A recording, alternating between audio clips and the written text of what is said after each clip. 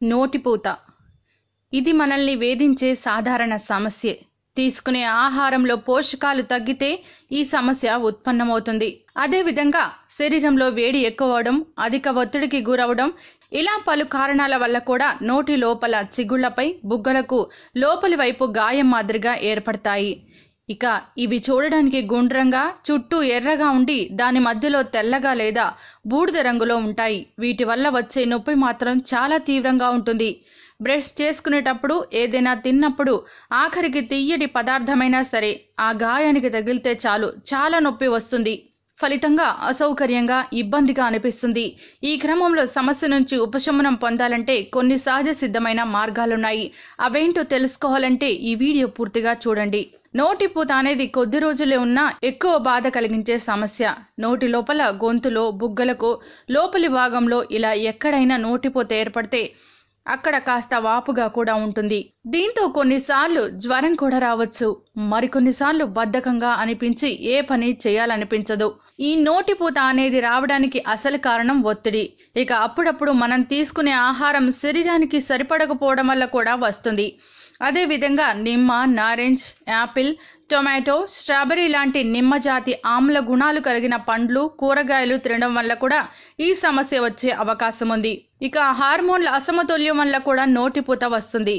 అదేవిధంగా zinc folic acid B twelve C vitamins iron మొదలైనవి లోపించడం వల్ల కూడా ఈ సమస్య తలెత్తే అవకాశం ఉంటుంది. ఈ నోటిపూత వచ్చినప్పుడు నొప్పి నివారణలు వాడడం వల్ల అప్పుడప్పుడు అవి శరీరంపై నెగిటివ్ ప్రభావాన్ని చూపుతాయి. ఇలాంటి సందర్భాల్లో కూడా నోటిపూత రావచ్చు. నోరు పరిశుభ్రంగా ఉంచకపోవడం వల్ల కూడా ఈ సమస్య ఎదురవుతుంది.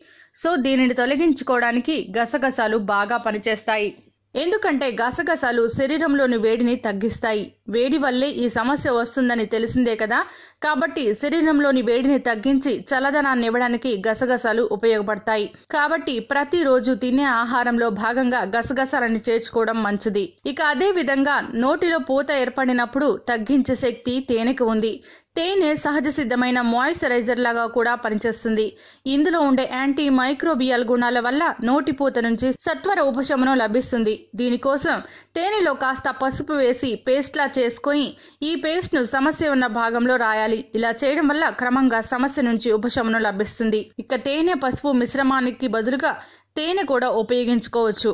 ఇక నోటిపూతను తగ్గించే మరొక దివ్య ఔషధం కొబ్బరి నీళ్ళు కొబ్బరి నీటిని తాగడం వల్ల ఈ నోటిపూత సమస్య ఇట్టే పోతుంది. అదే విధంగా పాల పదార్థాలను తీసుకోవడం వల్ల కూడా ఈ నోటిపూతను తగ్గించుకోవచ్చు. సమస్య ఉన్న చోట నెయ్యి రాయడం ప్రతిరోజు రెండు మూడు సార్లు ఒక గ్లాస్ చొప్పున మజ్జిగ తాగడం లాంటివి చేస్తే సమస్య నుంచి సత్వర ఉపశమనం పొందే అవకాశం ఉంది. ఇక ఔషధ ప్రదాయిని అయిన తులసి ఆకులు కూడా ఈ నోటిపోతును తగ్గించడంలో ఎంతో బాగా పనిచేస్తాయి. తులసి ఆకుల రసాన్ని ప్రతిరోజు తాగడం వల్ల ఒత్తిడి దూరం అవుతుంది నోటిపూత సమస్యతో బాధపడేవారు తులసి ఆకుల్ని బాగా కడిగి ఇలా చేయడం వల్ల ఆ ఆకుల రసంలో ఉండే యాంటీ బ్యాక్టీరియల్ గుణాల వల్ల నోటిపూత ఇట్టే మాయమవుతుంది. ఇక ఒక్కోసారి నోటిపూత వల్ల వచ్చే నొప్పి తీవ్రంగా ఉంటుంది. ఈ నొప్పి నుంచి ఉపశమనం కలగాలంటే చిన్న ఐస్ ముక్కను తీసుకొని గాయం ఉన్న ప్రదేశంలో నెమ్మదిగా రుద్దడం బాగా చల్లటి నీటితో నోటిని శుభ్రపరచుకోవడం లాంటివి చేస్తే మంచి ఫలితం ఉంటుంది. అదేవిధంగా లవంగం నమలడం లవంగం నూనె సమస్య ఉన్న ప్రాంతంలో పోయడం మొదలైన వాటి వల్ల కూడా నొప్పి నుంచి తక్షణ ఉపశమనం లభిస్తుంది. సో నోటిపూత రావడం అనేది చాలా మందిలో సాధారణంగా ఉండే సమస్య. ఇప్పుడు చెప్పిన సహజ సిద్ధమైన చిట్కాలను పాటిస్తే సమస్య తగ్గిపోతుంది. ఒకవేళ సమస్య ఈ విధంగా తగ్గకపోతే డాక్టర్ దగ్గరికి వెళ్ళడం మంచిది.